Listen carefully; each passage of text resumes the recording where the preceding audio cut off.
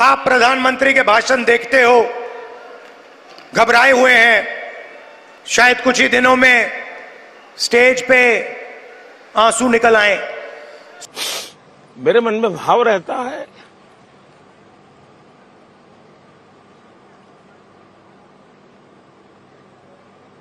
हो सकता है मेरी माँ ने मुझे जन्म दिया। ये चीज़ें देखता हूँ। मन को इतना संतोष होता है।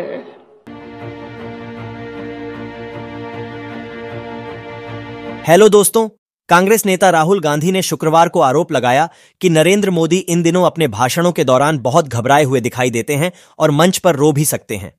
जी हाँ दोस्तों, कर्नाटक के बीजापुर में एक रैली को संबोधित करते हुए राहुल गांधी ने कहा, नरेंद्र मोदी इन दिनों अपने भाषणों के दौरान काफ़ी घबराए हुए रहते हैं। हो सकता है कि कुछ दिनों में वह मंच पर आँसू बहाएँ। कांग्रेस सांसद ने पीएम मोदी पर गरीबी, बेरोजगारी और मूल्य वृद्धि जैसे मुख्य मुद्दों की अनदेखी करते हुए विभिन्न माध्यमों से जनता का ध्यान भटकाने का भी आरोप लगाया।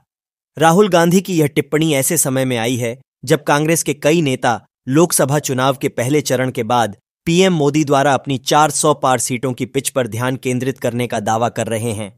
वैसे दोस्तों, आपका पसंदीदा नेता कौन सा है? कमेंट बॉक्स में कमेंट करके ज़रूर बताएँ।